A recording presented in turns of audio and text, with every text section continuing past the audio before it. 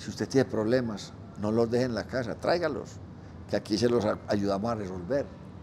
¿cierto? Porque las mayorías, los problemas de la casa y afuera son suyos, no los traiga aquí, imposible. Uno anda con el problema para todas partes. Entonces, venga, porque está usted malhumorado, porque no le está rindiendo, porque está perezado, porque está violento. Cuente, ah, es que ya entendemos que, no, no, tranquilo, vaya para la casa, solucione su problema, o venga, lo vamos a poner así mientras tanto otra cosa, porque ya uno entiende. Pero si uno no, no se mete en ese rol, entonces uno cree que es un trabajador que, es, que tiene toda una serie de inconvenientes.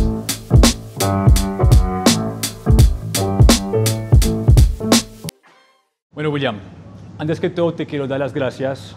Hemos podido compartir tú y yo algunos temas antes de esa entrevista y me alegro. Me alegro porque siento que tengo al frente de mí una persona que ve más allá que la transacción, que ve el humano y que ha encontrado en esa relación la oportunidad de crear valor en una industria, en un país, en una sociedad donde estamos frecuentemente confundidos frente a cómo emprender, cómo generar valor, cómo responsabilizarnos por las demás personas.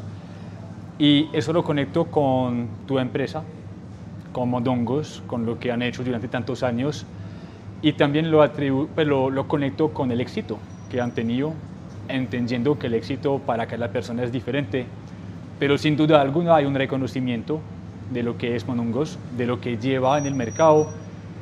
Y esta es la razón por la cual te visito hoy, para conocerte, conocer tu filosofía, cómo piensas, cómo emprendes también.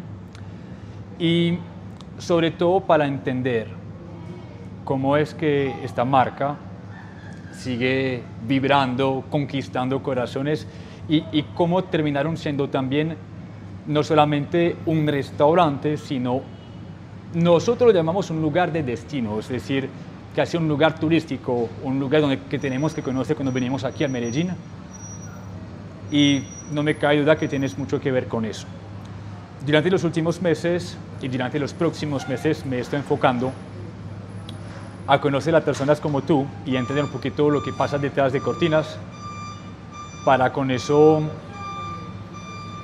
recopilar, arrojar una serie de pensamientos, buenas prácticas que un restaurador promedio puede tomar para impactar positivamente sus ventas, su rentabilidad, pero también sus empleados y sus clientes. Dicho todo lo anterior, te voy a dar la palabra, tenemos mucho por conversar, tengo muchas preguntas, pero antes de me gustaría eh, que tú pudieses eh, presentar, que nos cuentes quién eres, qué es Mondongos, dónde, cómo todo inició y de ahí iniciamos la conversación. Ok, muy bien. Bueno, mi nombre es William Vargas Ramírez. Nací en un municipio, en un pueblo. Tengo 71 años cumplidos. Mi profesión es del sector agropecuario. Soy tecnólogo agropecuario, egresado de una institución que se llama el Politécnico Jaime Isasacadi, muy reconocida en esta ciudad. Mis primeros inicios los hice en mi profesión, en ese entonces con el Banco Cafetero, que era el banco más importante del país. Y a los cinco años me retiro porque en ese momento mi familia, mi hermana y mi cuñado, Julieta Vargas y Octavio Velázquez, habían montado este pequeño este, este negocio en un pequeño sitio en San Juan. Y desde el inicio esto fue exitoso.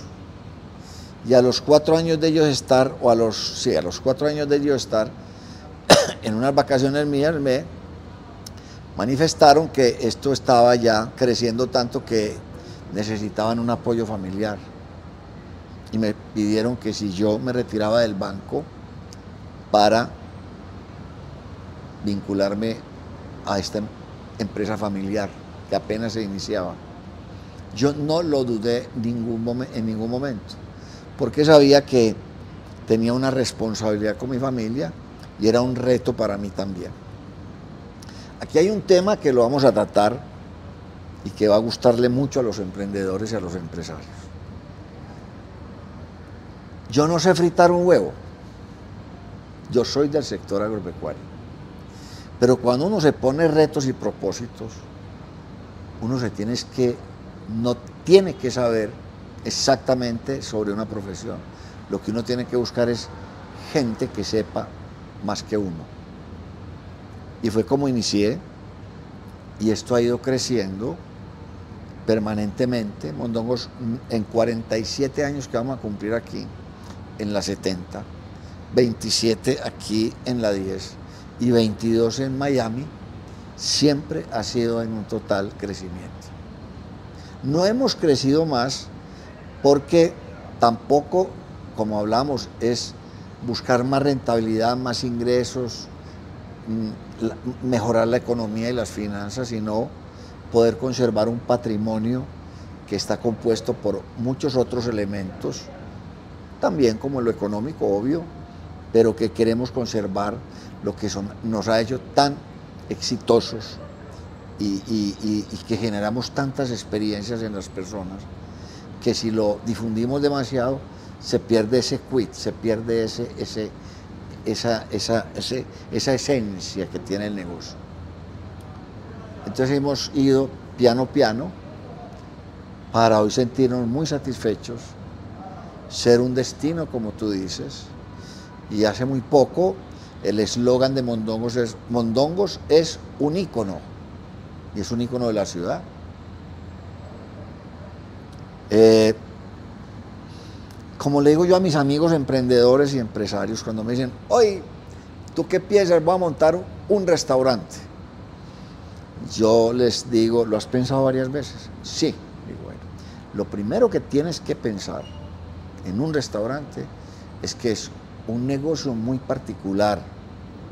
Todos los negocios requieren de una permanencia continua, una dedicación continua. En un restaurante no se cierra ningún día. Por lo tanto, los días de más descanso que tienen los empresarios en los restaurantes son los días en que más se trabaja. Entonces hay que insistir, persistir, resistir y nunca desistir. Y esto tiene que estar uno, como dice el adejo popular, el ojo del amo engorda el caballo. Ahí, permanente, constante, generando ideas, siendo parte siempre de las soluciones, porque cada momento hay dificultades y problemas y hay que sacarlos adelante lo antes posible. Hoy estamos en un momento muy crucial y todos los días pensando cómo mejoramos internamente para que externamente se refleje esa mejoría. Y, aquí vamos. Muy bien. Voy a conectar sobre un punto que tú has dicho al inicio, que es que cuando ingresaste no sabías ni cocinar un huevo. Ni todavía lo sé. Muy bien, a eso quiero llegar. ¿Sientes que desde el principio, me regreso, te, te voy a contextualizar y hacer dónde voy para que entiendas. Sí. Durante los últimos meses hemos insistido mucho sobre no solamente ser emprendedor, que es tener la capacidad de llevar una idea y materializarla, crear un negocio, y diferenciarlo de ser un empresario, ser una persona que está gestionando una empresa, personas, recursos, procesos, que son dos cosas distintas porque hay emprendedores que no son empresarios y empresarios que no son emprendedores, o hay los dos también.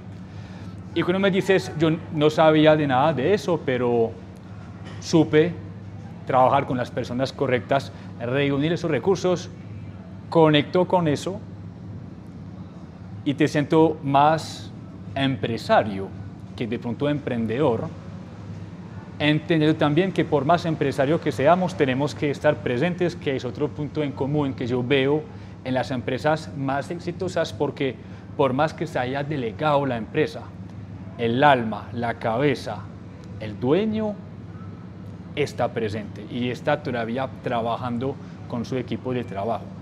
Quería preguntarte sobre este pensamiento. ¿Tú crees que tu rol al llegar a esta empresa de inmediato fue ser empresario? Exactamente no, pero lo que sí te quiero decir es que empecé a tener y a desarrollar unas condiciones Sí. muy especiales de cómo es que se maneja una empresa, desde todos los puntos de vista. Eh, teniendo para el común denominador una falencia de no saber de cocina, a mí eso no me importó ni me importa. Porque hay para mí circunstancias más valiosas. Conozco muchos chefs que no son emprendedores ni son empresarios y saben mucho de cocina. ¿Cierto? Ok. Entonces empecé a entender que habían otros factores más preponderantes para hacer crecer una empresa que, como digo yo, es una empresa absolutamente simple. Si, si el poder de la simplicidad es un verdadero poder que existe, aquí lo ponemos en práctica. Es increíble. Entonces yo me he basado mucho en el poder de lo simple. Desarrollamos sobre esa si- simpleza. Sí, esa simpleza es que un restaurante que lleva 47 años aquí, que está en Estados Unidos, y que no vende seis platos, que no vende licor, que no tiene show, que cierra a las 10 de la noche, eh, que no es lo más suntuoso, no tiene nada de suntuosidad, que vende unos platos que se venden en todas partes, aún inclusive mejor que acá, ¿qué hay ahí detrás? Ahí detrás es un poder de lo simple, en donde esa simplicidad hace parte de una gran experiencia, que es lo que hoy más que nunca el ser humano busca, experiencias. Entonces, aquí puedo decir que lo que aquí se experimenta en esta empresa es la experiencia del amor, de servir con amor, con entrega, con que la gente salga muy feliz, más feliz de que cuando llega. Y eso es una experiencia que se ha perdido, que se busca en otras instancias. Y aquí no, aquí estamos llegando a la esencia del ser, ser feliz desde el amor. Yo desde aquí escucho a emprendedores que nos dicen "Ah, es que eso está muy poético. Pero yo creo que al contrario, porque a fin de cuentas, al volver la empresa simple, ustedes se pudieron enfocar en lo más importante que es lo que acabas de mencionar, que es la relación humana que ocurre entre incluso la cocina, el mesero y también el cliente, para generar emociones que termina siendo el mejor marketing que puede existir, porque aparte de comer, el cliente busca sentirse importante, escuchado, valorado, y ustedes, esta simplicidad, como lo mencionaste, les permite enfocarse únicamente en la parte humana. Te podré contar algunas anécdotas eh, profundas de lo que es. Aquí se combina tres factores que son la gastronomía, la antropología y la psicología. Cómo esos tres factores se unen y hacen esa experiencia fundamental que todo ser humano necesita tener, pero que no en todas las partes le dan eso. Eso se llama después de una conversación con un hombre joven que quería hacer una tesis, se iba a graduar en antropología, pero era psicólogo y gastrónomo, me buscó para hacerla en Mondongos. Y después de un conversatorio que tuvimos muy interesante, me dijo, ya sé cuál es el éxito de Mondongos. ¿Cuál es? La mesa maternal. Aquí se genera la mesa maternal. ¿Qué es la mesa maternal? Es que la gente llega aquí a sentarse y a ser atendido como la atendía la abuela, la mamá, las tías, con amor, con cariño, con detalles, mi amorcito, te, todo. Te quieres más caliente, más frío, quieres esto, a ti te gusta esto. Eso es lo que hacen los vendedores nuestros con los clientes. Trasladarles a ellos esa imagen materna de atenderlos con todo el cariño, con todo el gusto y que se sientan supremamente eh, y emocionalmente muy, muy bien y muy satisfechos. Esa es parte del cuento. O sea que si conecto puntos, el, la unicidad de Mondongos dentro de todo el mercado y las ofertas gastronómicas es esa mesa maternal. Es esa mesa maternal. dices. Es una mesa maternal donde el licor no puede estar. Porque el licor te, desfi- te desfigura todo. Donde los shows no pueden estar. Es que es la mesa de la casa donde se reúne la familia unos días muy especiales como los domingos a compartir el- qué ocurrió en la semana, de los éxitos y algunos fracasos, de las problemáticas o de las, o de las eh, extraordinarias cosas que se hacen. Y eso es lo que se genera aquí. Eso que ya no existe, porque ya en las familias cada quien come en su cuarto, no van a la mesa, no, no, no, no interactúan por toda la tecnología. Aquí se hace eso, se retoma un tema tradicional que en el inconsciente colectivo y humano todavía lo tenemos ahí, por nuestros abuelos, nuestros tatarabuelos, nuestros padres, eso está ahí. Y cuando uno logra colocar esa, ese ADN tradicional de costumbres en una mesa, la gente se sorprende. Qué muchachos tan atentos, qué queridura, qué formalidad, qué alegría, qué es eso. Esa es la parte antropológica. Esa es la parte antropológica. Sí, señor, claro. La gastronómica es unos productos muy bien elaborados que también son muy tradicionales de nuestra comida paisa, de nuestro, de nuestro folclore paisa. Entonces ahí también está la comida. Y en lo psicológico es que la gente viene a pasar un momento tranquilo de conversación, de conversatorio, de, cambiar todo un esquema mental y, estructuralmente emocional que tiene cada ser humano en su hogar, en su oficina, que se sienten presionados por muchas circunstancias. Aquí vienen como a un relax, hablar de una cantidad de cosas y, cuando salen, uno, uno siente que llegan estresados, uno con hambre, pero cuando salen, salen totalmente satisfechos. Y, casos como llegar personas enojadas por cualquier cosa y, y- y enojarse en más, y esto porque me llegó así, y con el trato que le damos, discúlpeme, es que tenía mucha hambre o que sea, me- pero me voy feliz, me voy contento, qué, qué maravilla. Y eso es lo que hace el voz a voz y crecer y estar hoy donde estamos y, y nos ha permitido no estar ni en prensa, ni en radio, ni en televisión para estar donde estamos. Hoy, obviamente, con las redes sociales sí hay que estar muy ahí porque también uno puede quedarse en la obsolescencia. Siento que nos están recordando que la mejor red social que existe siempre será la mesa, ¿cierto? En la mesa y en el juego se conoce el caballero. Muy bien. Vini, tengo una duda.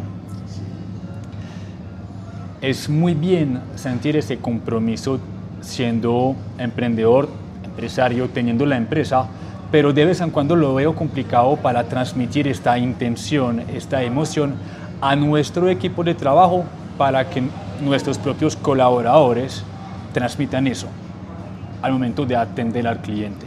Entonces me gustaría indagar un poquito más sobre la relación que ustedes tienen con su equipo de trabajo, si esa mesa maternal termina siendo la misma también para sus trabajadores o cómo lo están manejando. Después de mucha observación, de muchas vivencias, etcétera, eh, me pude dar cuenta que había que trascender más en el ser. Que así como la gente o el cliente externo salía sa- satisfecho, yo manifestaba que uno da lo que tiene y el otro percibe lo que uno le da. Y entonces me puse a observar detenidamente qué ocurría dentro de la empresa y me di cuenta que nosotros éramos regañones, sancionadores. ¿Hace cuánto, perdón? Estamos hablando hace 10 años. Sí. Pero más sin embargo había una esencia. Era la esencia de la calidad humana, del respeto por el otro, del tema fraternal, de que Mondongos era una familia, pero faltaba algo y faltaba era la capacitación en el ser. Y fue así como creamos, o yo creé una escuela que se llama la escuela con las siglas de Mondongos, que son, Mondongos es, la, la sigla es M, metodología, D, desarrollada, G para grupos, S de servicio. Entonces desarrollé una metodología para hoy equipos de servicio. En esa metodología hay tres ítems que hay que tocar. Primero el ser, después el hacer o conocer y saber para poder obtener resultados.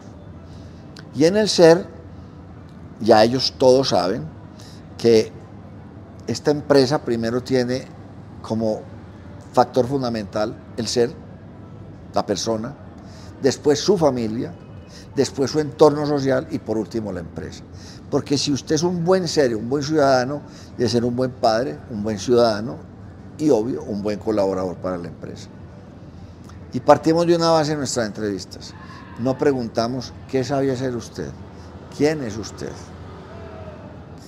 Porque uno, las empresas en común denominador, eh, vinculan a la gente por el talento, por lo que saben. El hacer.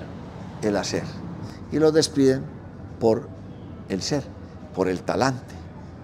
Porque son mal genios, porque tienen muchos problemas, y más en los restaurantes, con el equipo que uno tiene de trabajo vienen de sitios muy conmocionados, con muchas problemáticas de toda índole, y si uno no logra entender esa problemática, entonces no entiende a ese ser que le está prestando a uno todo su servicio y, y partimos de otra base, Vincent.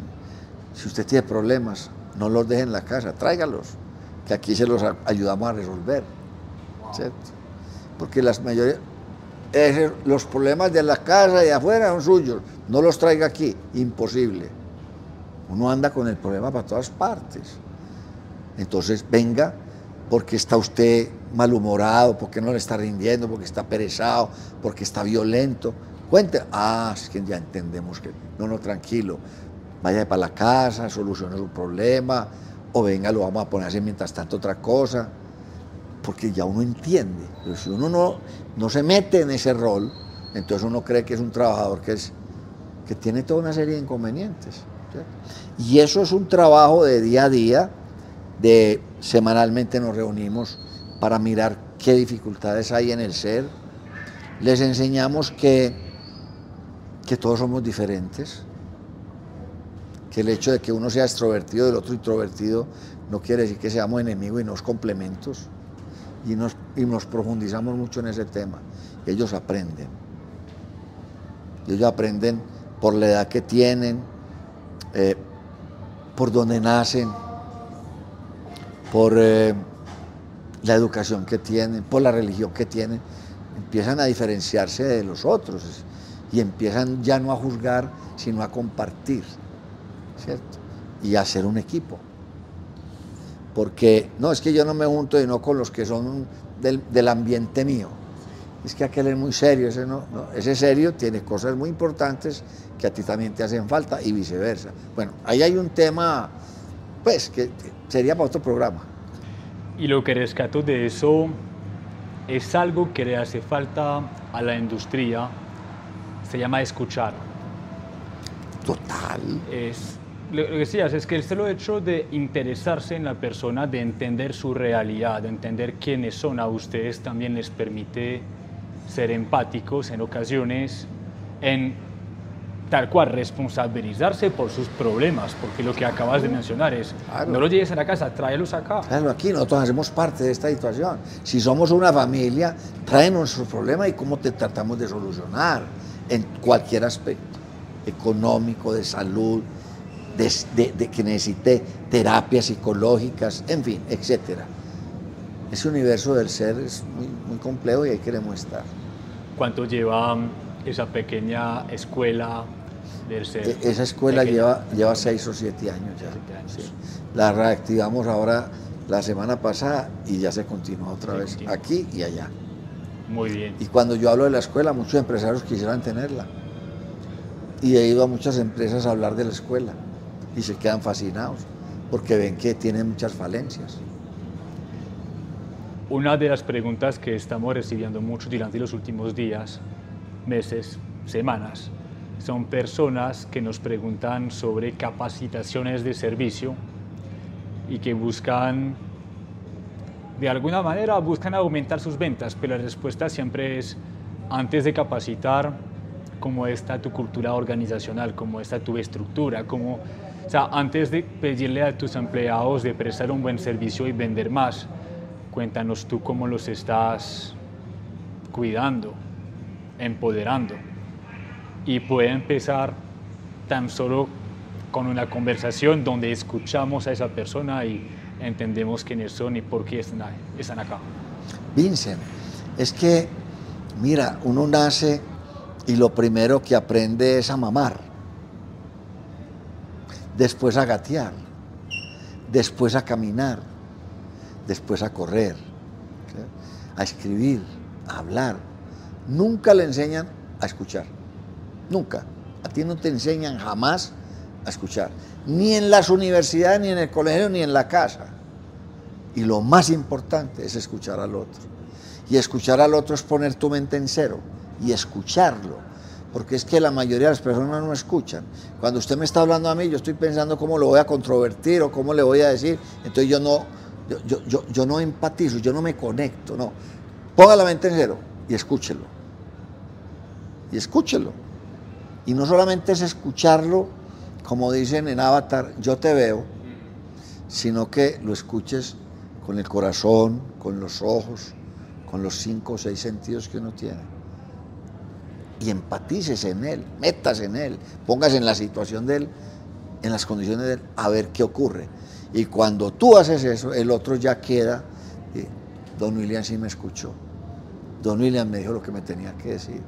Y hay veces que uno tiene que decirle cosas hasta muy fuertes porque están perdidos y uno los los induce a que cojan un camino diferente, a que ese problema que lo ven muy grande es un problema que no es tan grande, que todos tenemos problemas más complejos que él, etcétera, etcétera. Pero es el ser, es el ser. Porque de lo contrario, a la mayoría de las empresas les importa un pepino lo que le pase a los... Ah, produzca. Usted no está produciendo, rinda. Y si no, se fue y llega otro, igual. Pues por eso aquí hay gente tan estable de 35, de 40, de 40 y pico de años. Por eso. Y ahora estamos en una situación que tengo que empezar a analizar, en eso estoy, con los millennials y los nuevos jóvenes que tienen una mentalidad muy diferente por todo lo que viven hoy en día en la actualidad en la sociedad. Como trabajadores, ¿cierto? Como, como complejos, como trabajadores. Entonces hay que empezar a entenderlos, a escuchar, porque son jóvenes que no quieren ser estables, no tienen alto sentido de pertenencia, hoy están y mañana no. Les entra por un oído una cosa y les sale por el otro.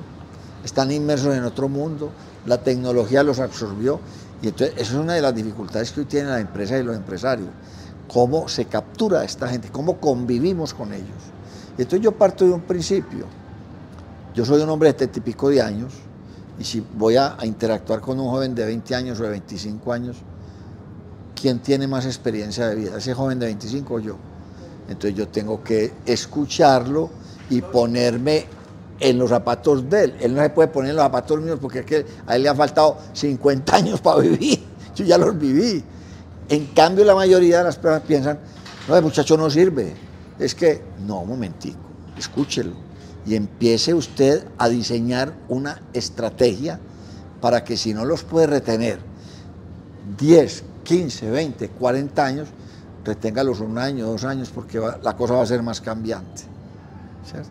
Entonces ahí tenemos que trabajar un cuento desde el ser más importante, más inteligente, más reflexivo y más estratégico que antes.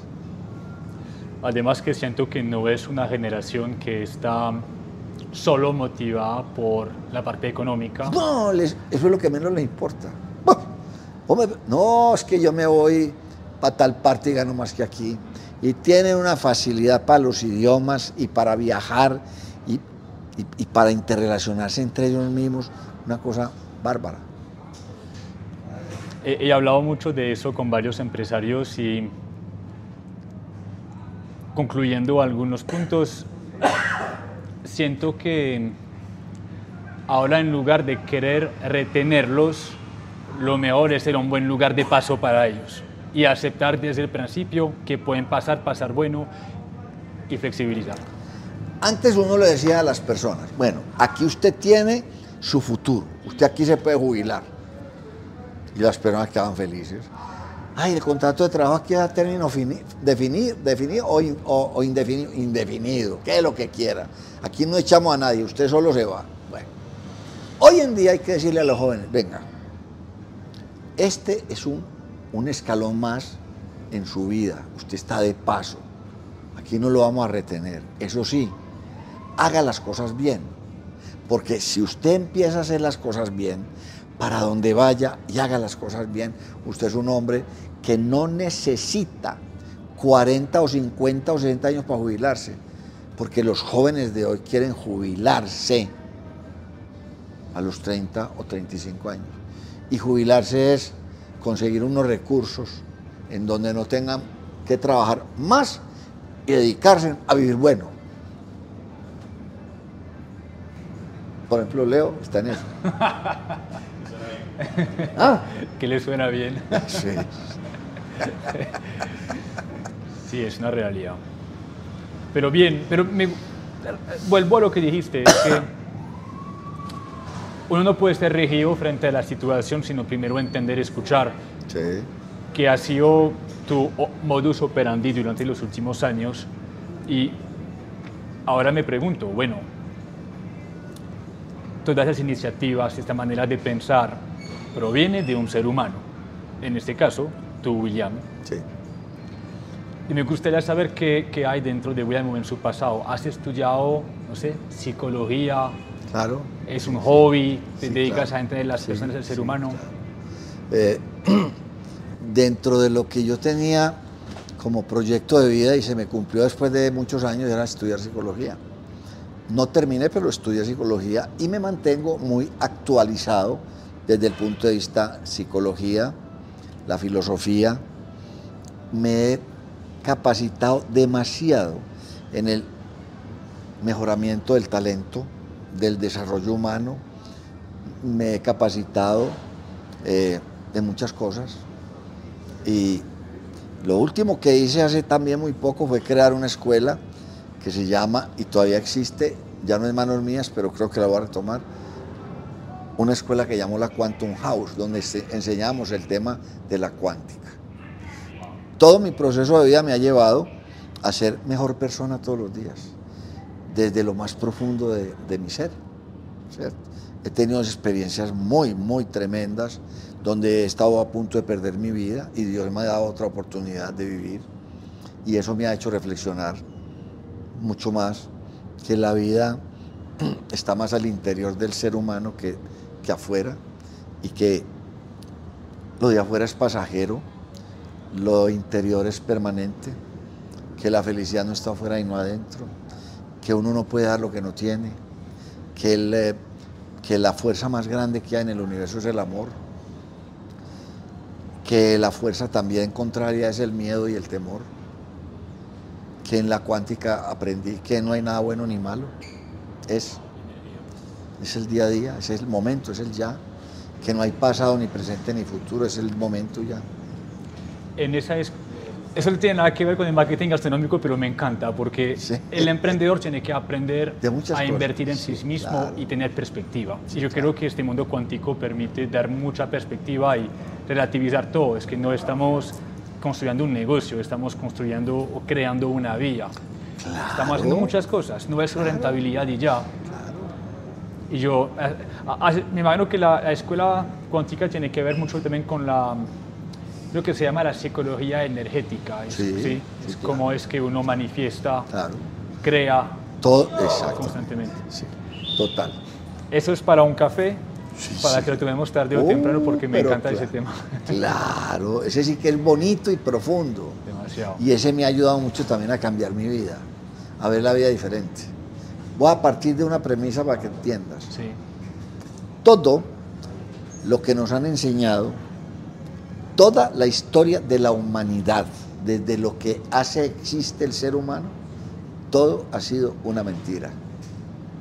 Porque nos han puesto a vivir desde la inconsciencia, desde el miedo, desde la manipulación en todos los aspectos educacionales, religiosos y políticos. Porque no nos han dejado florecer dos cosas muy importantes. La divinidad que todos tenemos dentro, que hace magia, y tomar conciencia de ello. Vivimos en el oscurantismo, en la inconsciencia total. Todo creemos que sucede porque al azar, por casualidad. No, no, no, no, no, no. Nada es al azar ni nada es casual. Todo se genera en la cuántica perfecto. Lo que estamos viviendo aquí es un encuentro perfecto, no es casual. Entonces se lo pone a uno a pensar diferente. Y precisamente tengo que estar preparado para ver ese mundo de oportunidades que hay. Porque el mundo se te llena de oportunidades. Porque tú conscientemente, consciente, la tomas o la dejas. En la inconsciencia, usted no sabe si tomarla o no tomarla. Y cuando la, tiene, cuando la toma, no la debiera de tomar. Y cuando la, no la toma, la debiera de tomar. Porque vivo en otro mundo, en otro mundo. Esas conversaciones son muy importantes porque nos recuerdan o nos enseñan que tenemos todos la capacidad de crear. Hablabas de esa chispa de divinidad que tenemos adentro. No somos víctimas de la sociedad, somos acondicionados sin, sin, duda alguna en ese subconsciente por los mensajes de la sociedad, pero todos tenemos la capacidad de crear y esas conversaciones son las que yo quiero frecuentemente poner en la, sobre la mesa porque muchas veces lo que tenemos que hacer para mejorar una empresa, una industria e incluso una sociedad es recordarle al ser humano que por un lado es libre, tiene la capacidad de crear, pero responsablemente claro. con las demás personas. Claro, es que el, único, el único don, por decir alguna cosa, que Dios nos regaló fue el libre albedrío, la libertad de tú decidir. De resto, Y te voy a profundizar más. Uno es el artífice de su propio destino. Pero ahí hay dos cosas muy importantes. Es la capacidad que tú tienes de proponerte y desarrollar lo que quieras. En la cuántica y el ser humano no hay imposibles. Todo está en la mente y en el sentimiento. Y dos, es que definitivamente, y a la edad que yo tengo, tengo claras dos cosas. Lo primero, yo propongo, yo propongo mi vida, yo hago mi vida. Pero lo segundo, yo tengo que estar conectado indefectiblemente con un poder superior. Póngale el nombre que quiera. Para mí es Dios, Dios, como una palabra de que genera pues toda una, una articulación y una recordación. Si tú solo no, no puedes, porque es que en la cuántica esa energía que se genera y que está en todo el universo desde siempre, eso es, la energía que nos conecta con Dios, con ese ser tan poderoso, omnipresente, omnisciente, omnipotente, etc. Entonces, ese es el apoyo que tú tienes para poder tener fe, creer en ti y creer que hay una, un ser superior que, está ahí, en el cual tú te soportas. Bueno, sin ser religioso, obviamente espiritual. Me encanta. Entonces, bueno. E, eso es para nuestro próximo Otro café. próximo ah. café. bueno, pero asumimos que la persona ha entendido toda esta responsabilidad que tiene hacia ellos y hacia los demás y amar.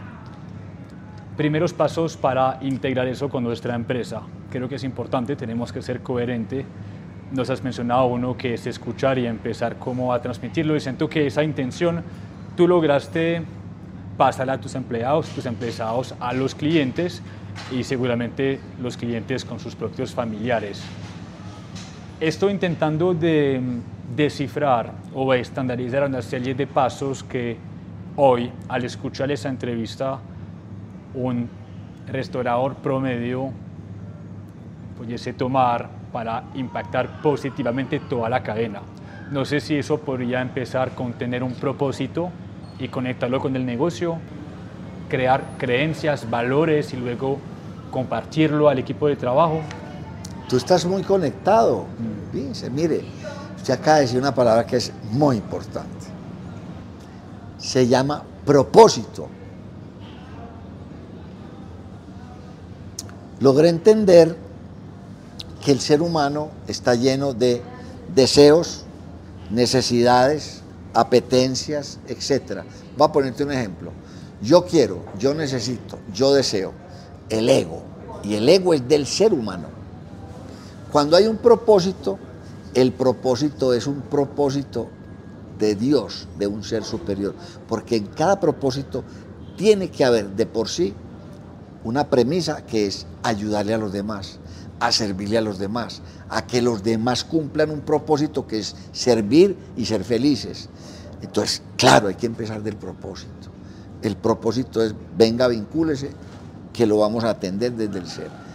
Usted es una persona que puede entrar a la empresa a desarrollar una serie de capacidades y condiciones suyas y ocurre otro fenómeno muy importante para empezar con ese propósito. Cada, cada rato pasa que se vincula una persona a una empresa y al poquito tiempo la sacan. No, ese muchacho no sirvió. Pero es que resulta que el que perfila, el que vincula, o el, o el gerente, o el administrador, coloca a esa persona en el lugar equivocado. Si esa persona, cuando uno lo analiza, lo perfila y se da cuenta del ser quien es, yo no puedo colocar en, una, en un hábitat donde solo está un computador y una persona que es extrovertida a morir. ¡Wow! ¡Epa!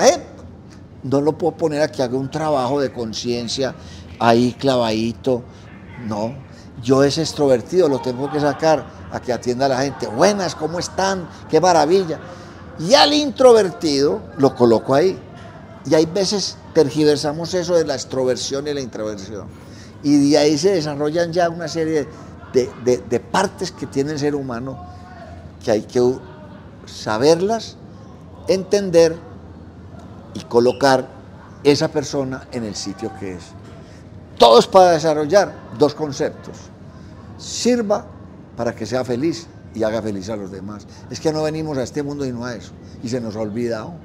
¿Por qué se nos ha olvidado? Bien, porque hoy el mundo tiene los valores cambiados. Dejamos los valores más simples, más esenciales de la vida y nos hemos propuesto otros valores como el dinero, como la lujuria, como tantas cosas que hay hoy en día que lo único que uno ve es tragedias humanas. Uno conoce gente muy adinerada, con una... pero internamente son personas que no son felices, que están destruidas, que se autodestruyen todos los días más. Ahí está la esencia de la vida. No puede ser.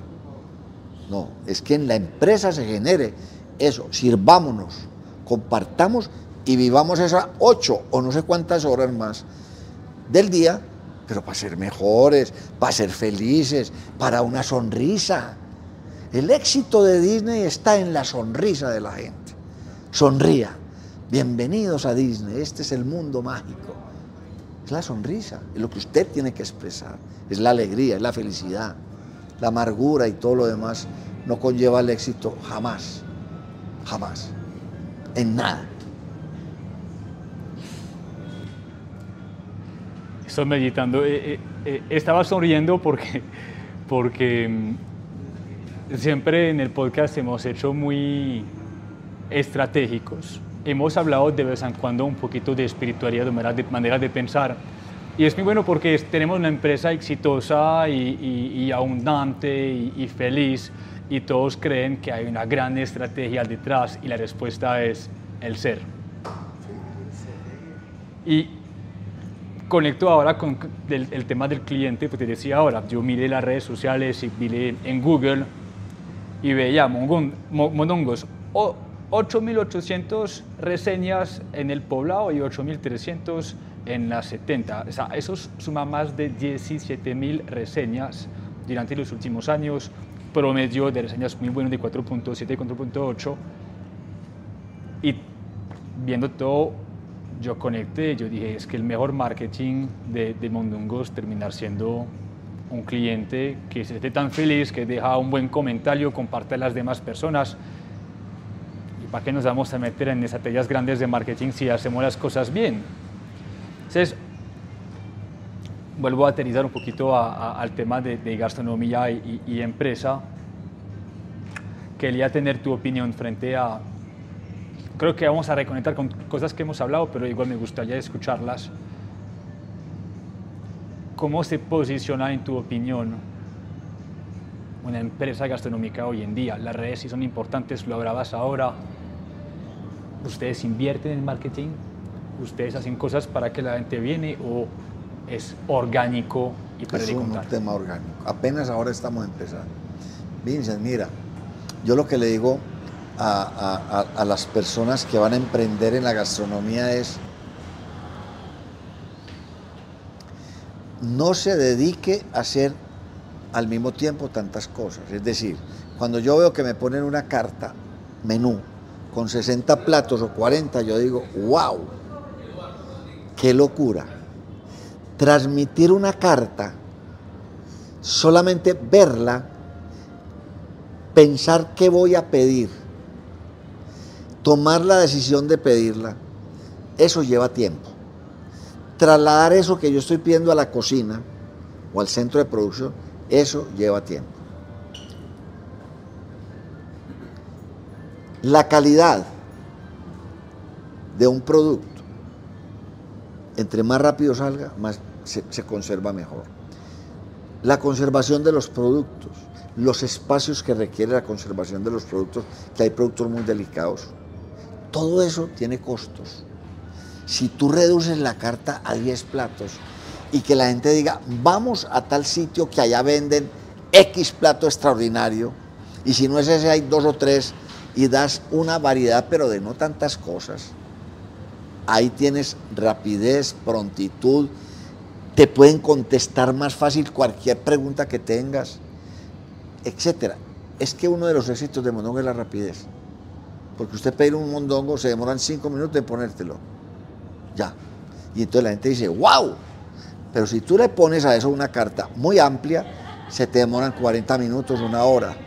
El mismo. El mismo. Y no rota los productos de la empresa. Y si no rotan, pasa muchas veces que tú vas por la calle, ves un restaurante lleno de gente y dices, eso se mantiene lleno, pero con las mismas personas que están esperando una hora para que le sirvan, que le están dando licor, y se quedan dos y tres horas, no rotan ya. Entonces, por eso tienen que poner los precios muy altos, la calidad de la comida hay veces es deficiente, etcétera, etcétera, etcétera. Y nosotros cambiamos todo ese esquema. Pongamos muy poquitos platos, no distraigamos la gente. Nosotros no tuvimos televisor durante muchos años porque nos distraía la gente. Viendo televisión, no, rápido, rápido, rápido. ¿A quién le cuento es? Sirva un producto bueno rápido y que rote la gente. Y la gente cree que la cantidad de gente que hoy, el tiempo es oro, dicen los americanos. No, estamos haciendo unas vueltas, vinimos a pasear. No, a donde más rápido nos atiendan bien, porque tenemos que aprovechar el tiempo. Pues vienen a Mondongo es por eso. Nos sirve muy rápido un producto exquisito y la atención, unas cosas elementales. Aquí no. Lo otro es combinar comidas típica con francesa, con italiana, con, comida mm, eh, eh, rápida. ¿Qué es eso? Porque creemos que entre más opciones tengamos, más clientes nos vienen. No, señor. Esos clientes van a comer el perro, la hamburguesa, la empanada, lo frío, donde saben que es extraordinariamente bueno. Y entonces se vuelven unos sitios gastronómicos muy especializados que la gente los va a buscar por eso o porque es rápido, porque el producto es muy barato, es muy abundante, es muy calidoso. Yo tengo en estos momentos una niña que mañana va a abrir una, un punto de empanadas, éxito. Solo vende empanadas y escasamente un pastelito de pollo. Aquí hay unas empresas que no venden sino pollo y empanadas y son súper exitosas. No venden sino eso. súper exitosos con dos productos. Y las iglesias y, en los pueblos y en las ciudades se han hecho unos monumentos de una iglesia a punta de empanadas, un solo producto. Y entonces, ¿dónde? Entonces uno dice, ¿dónde, está la riqueza? ¿Dónde está el No, no, lo más simple del mundo entero. Ya. Empanadas el machetico, por decir algo. 14 o 15 puntos y una empana de gaseo, exitosísimo. No, no se tiene que... Mira, una de las cosas que nos ha enseñado la pandemia es vivir la vida más simple. Hablemos de la pandemia. Ahorita me dijiste que la pandemia fue también una época ahora para ustedes. ¿Cuáles fueron esos aprendizajes y los resultados de esas conclusiones pandémicas, llamémoslas así? Mira, Vincent, lo primero que nos, que nos eh, ocasionó la pandemia fue, en ese encierro que había, es podernos valorar y entender cada quien bajo sus condiciones especiales y diferenciadoras. Se sabe por las noticias que muchas familias se destruyeron porque nunca podían convivir todo un día viéndose de frente a frente, esposo, esposa, familia, hijos, y eso explotó. ¿Por qué? Porque vivían una vida diferente. Otras se aliaron, se aliaron, se, se, se, se magnificaron, se entendieron más, compartieron momentos que por la labor y el trabajo no los podían este, disfrutar y en medio de la soledad se disfrutaron.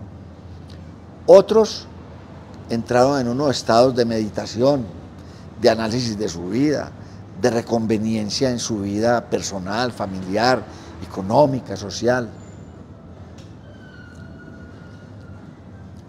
Unos supieron aprovecharla, vuelvo y repito, en su vida personal, familiar, empresarial, y hoy están muy, mucho mejor que antes. Y otros, desafortunadamente, fracasaron.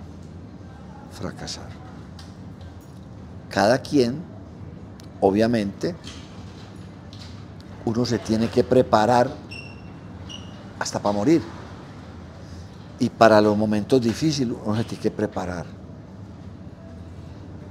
Y yo siempre fui un convencido de que después de la pandemia, nosotros íbamos a surgir más, íbamos a surgir como el ave fénix.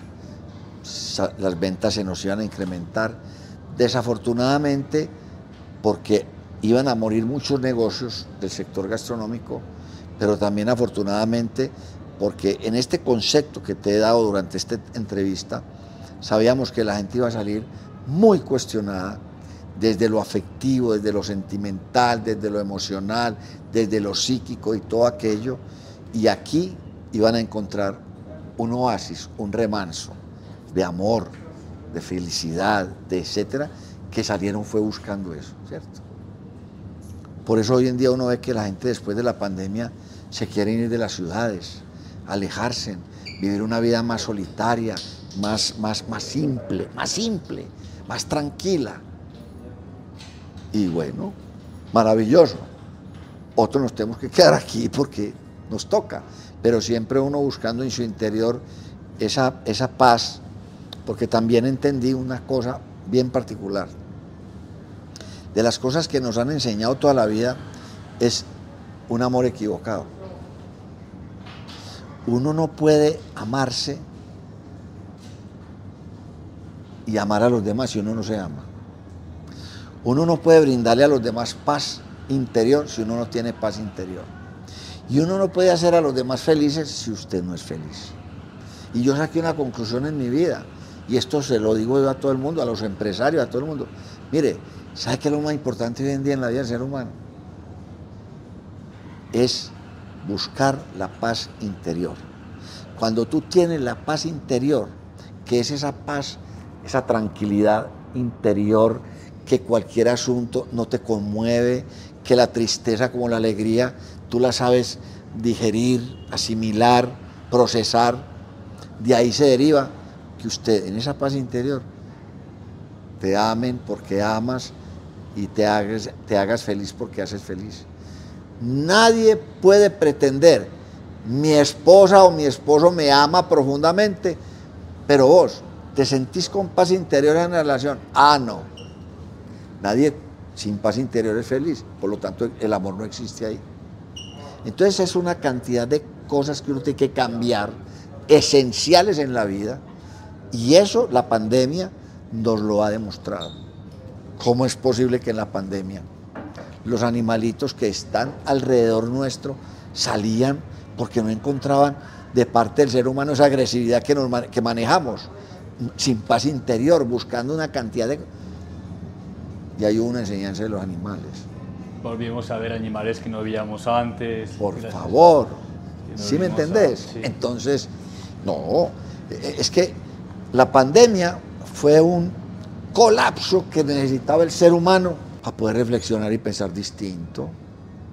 Dice Einstein, locura es pretender conseguir resultados diferentes haciendo lo mismo. Pues la pandemia nos puso a pensar distinto. Si usted quiso seguir igual, cambie, cambie el chip. Podemos incluso crear varias ramas. Eh, eso explica por qué la industria gastronómica terminó siendo un escape para muchos consumidores que volver a, a, recuperar el tiempo perdido, volver a valorar también la relación humana alrededor de la mesa, que explica también por qué tantas empresas se crearon después de pandemia y que algunos empresarios también están migrando hacia esa parte del ser y creando empresas muy bonitas y muy sostenibles, llamémoslas así. Hay tantos temas que yo quiero destacar contigo, pero voy a ir como empacando. Sí. Nosotros cada vez que, que tenemos una entrevista este año tenemos cuatro preguntas. Te las voy a hacer. Has contestado algunas de ellas, de hecho, pero vamos a repetir. Más concretas. Las concretas. El mejor o lo mejor y también lo peor de ser empresario gastronómico? Lo mejor,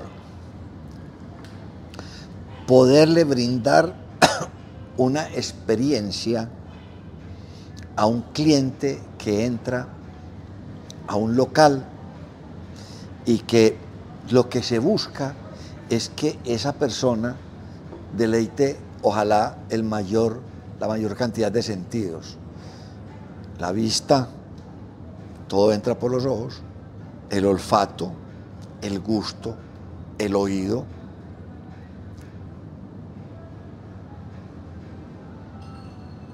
Y el resto de experiencias que ya como decía en estos días un gran científico, nosotros tenemos hasta siete sentidos. Y los sentidos que creemos que son más simples, eh, más complejos son los más simples y los que no vemos son los más importantes. ¿Cuál sería el séptimo? El tercer ojo, que unos dicen el tercer ojo. Eh, el otro sentido que todos también lo llamamos, eh, que el, sentido de la de, de, lo que llaman ah, se me escapa. Cuéntame, cuéntame de lo peor. Ah, lo peor. Lo peor para, para, un, para una, una persona de la gastronomía, ser éxito, la esclavitud. Esto es muy esclavo. Esto tú tienes que estar 24 horas del día. Y una de las cosas complejas de la gastronomía es que tú vas a un almacén a comprar zapatos o camisas o un carro y si no te gusta, posiblemente te lo cambian tiene la oportunidad de medirte todo, de montarte y decir, no, me, aquí no, aquí lo que se te sirve es lo que tú vas a degustar. Y si no te gustó de entrada, ¿qué problema? Le faltó no de qué, esta comida está... O sea, no hay, no hay esa posibilidad de, que de entrada, si no te gusta, se te cambia como en una camiseta, no aquí. Lo degustas y o eso está muy rico, o eso está muy maluco. Y ahí eso es un mundo caótico. Afortunadamente nosotros pues son malas experiencias, pero hemos tenido experiencias muy amargas, muy malucas, muy, muy difíciles de manejar. Esas dos cosas, la esclavitud y el tema de los momentos, se llaman momentos de verdad, en donde una persona solo tiene un instante para degustar y no le gustó, y hay unas que la pasan y hay otras que hacen. Muy bien. Muy bien. Me, lo mencionaste ahora, pero te, te rehago la pregunta. ¿Qué le quieres decir a una persona que quiere emprender en el sector gastronómico? No, yo le digo dos cosas. Una, usted está dispuesto a sacrificarse. Ahora, es que el sacrificio no es que sea negativo, no, no es entregarse, hacer ese tema de estar ahí 24 horas pendiente de solucionar toda una serie de, asuntos que se presentan durante el resto de tu vida, porque es que uno, yo llevo cuarenta y pico de años aquí, es mi vida, todos los días y a toda hora, ¿cierto? ¿Tú estás dispuesto a hacer eso? Sí, bueno, listo. Y lo otro es, la primera pregunta que yo hago, para que seamos coherentes, ¿tú te sentirías o te sientes feliz montando un restaurante, un tema gastronómico? ¿Ahí crees que está tu felicidad? Sí. A pesar de que te tengas que sacrificar o entregar, sí. Y le digo, deme la mano y hágale. Pero cuando a mí me dicen, eh, yo le digo, mm", y me dicen sí, digo, pues si me dicen, hombre, es que, a ver, ¿qué te dijera? Le digo, no me meta, no me meta. Hombre, ¿por qué? Porque, porque no lo tiene claro. Y lo que yo hoy le digo a la gente, que se sale de los parámetros, pues, de lo económico, de lo financiero, de las perspectivas, de las proyecciones, todo lo que usted quiera. Venga, usted vino a ser feliz o a pasar aburrido. Porque si yo le digo a alguien, no, no importa que no seas feliz, pero te va a llenar de plata. Error. Es muy probable que fracase. Ni va a ser feliz ni va a conseguir dinero. Va a ser un caos su vida. No. Hagas lo que hagas, si consideras que ahí está tu felicidad, meta la cabeza y sáquela como sea y aguántese y persiste y resista y no desista. Pero siempre que esté feliz, aún en las dificultades más grandes que tú tengas. Pero tiene que reinar la felicidad. Si no, no se meta. Y eso lo digo no solamente al sector gastronómico, a todos los sectores. Muy bien, muy bien. Tercera, penúltima pregunta. Un hábito que un emprendedor debería acoger en su, en su vida. Un solo hábito que pudieses escoger tú y recomendar. Lo, lo pongo ya toda la vida. No seas parte del problema, sé parte de la solución. Métete a hacer el hábito de buscarle toda la solución a las dificultades y problemas. Y si no las tienes, entonces, problema o dificultad que no tenga solución, entonces déjela a un lado, porque usted no puede hacer nada. Entonces, el hábito de ser siempre un ser que ante cualquier dificultad usted tenga la solución. Ya. Que termina siendo ser capaz de responder a la vida, crear soluciones y todo. ver oportunidades. Sí, sí, claro. A todas esas oportunidades que te presentan, cómo las acoges y cómo las manejas. Ya. Ah, y eso sí, toda oportunidad tiene cosas maravillosas, pero también tiene cosas complejas. No, venga, hágale. Búsquele la solución, búsquele la comba al palo. Super. William, última pregunta para cerrar. ¿Cuál es o cuál fue el mejor consejo que has recibido en tu vida? Que el que no llega, el que no recibe consejo no llega viejo. Pero aprendí una cosa que siempre la pongo en práctica. A mí me llega mucha gente, mucha gente, a que yo los asesore en su vida personal, familiar, empresarial, social. ¿Cierto? Y yo cuando los escucho le digo, bueno, yo no te voy a dar consejo, yo no soy quien para darte consejo. Te voy a asesorar, te voy a hacer algunos comentarios. ¿Cierto? Y, y ahí empiezo. Es como cuando a mí me dicen, te vamos a hacer una entrevista, como la de hoy. Yo, no me haga muchas preguntas rigurosas que yo, no, venga, conversemos y ahí va saliendo todo. Pero te defendiste muy bien, muy ¿Ah? bien. Entonces, es recibir conceptos y asesorías. Porque dicen los chinos, el hombre que cree sabérselo todo empezó a morir. Pues como uno no era sabe todo, uno tiene que escuchar a la gente. Todos los conceptos, las asesorías. Y eso lo engrandece a uno. Y cuando tú aprendes a escuchar, tienes la posibilidad de decir, yo me estoy equivocando. Tengo que cambiar. Es eso. Y entonces recibiendo los consejos y los conceptos de una manera muy humilde y, muy, muy proactiva, muy positiva. Te agradezco. Agradezco por toda esta sabiduría, por tu, creo que tu propio testimonio también, porque has entregado mucho de ti como persona y, y me encantó. Yo creo que has hecho de esa entrevista completamente única dentro de todo lo que hemos hecho en, en los últimos años. Em, me gusta tener a un empresario que ve más allá del hacer, vamos hacia el ser. Y creo, incluso estoy seguro que esta entrevista va a mover a muchísimas personas. Entonces, a nombre de la comunidad, te quiero decir gracias por todo. Te quiero felicitar de ser humano a ser humano por el impacto que tienes no solamente eh, en la vida de tus empleados, sino de tus clientes, seguramente de quienes te van a escuchar y de cada persona que cruza tu camino. Entonces, William, gracias por todo, de compartir la entrevista este sábado, apenas lo tenemos, y espero muy rápidamente tomarme un café contigo para hablar de todo lo que queda por conversar. Vincent, yo te agradezco a ti.